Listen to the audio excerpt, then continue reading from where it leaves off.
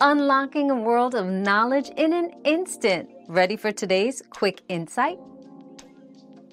An age analysis is a method used to determine the distribution of ages within a population or group.